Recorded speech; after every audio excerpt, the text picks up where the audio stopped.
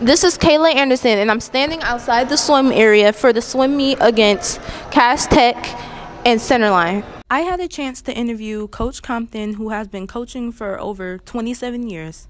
I asked her what she enjoys about coaching.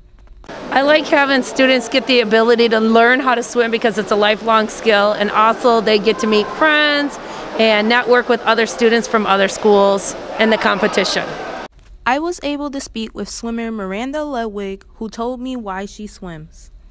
Um, I think that swimming is just a really unique sport. It's the only sport other than like water polo that doesn't involve the land, and I think that that's really cool. I also just like the like fitness aspect of it as well.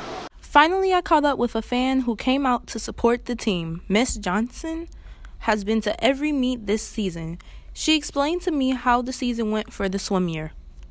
Think it went overall very well. I mean, me personally, as a mother, this is my first time being in a, a swim mom, and just to see my son grow in this one season is awesome. And then getting to know the other swimmers and watch them grow, I've seen all of them meet their personal best. So I think the swim season went very well for them individually.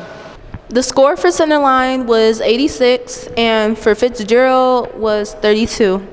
I'm Kayla Anderson reporting for Fitz News Station, and now it's back to you in the studio.